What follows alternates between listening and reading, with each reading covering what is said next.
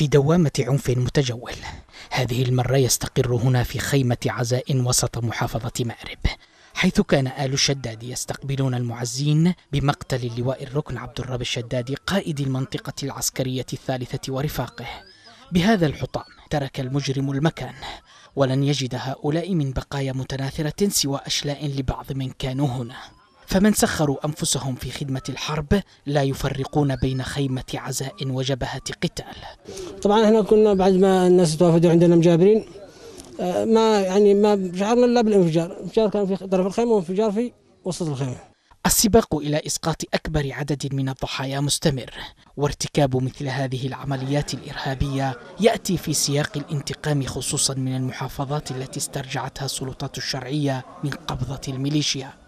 لا ينقسم اليمنيون على هوية القاتل ودوافعه ما لم تكن دافع ردع الأعداء وإن تركت أيضا سمعة سيئة في استهداف الخصوم الذي بلغ حتى مجالس العزاء وهو ما حققه من خطط ونفذ هذه الجريمة ربما التي أوقعت خمسة شهداء وعشرين جريح. إلى حد الآن ما يقارب عشرين جريح وخمسة شهداء.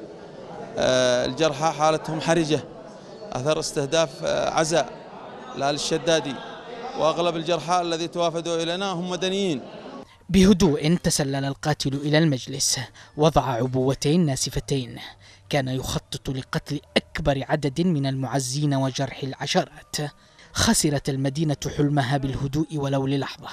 في عملية إرهابية جديدة حدثت بعد أن تعرضت المحافظة لعدد من الصواريخ التي اعترضتها بطارية الباتريوت خلال الأيام الماضية.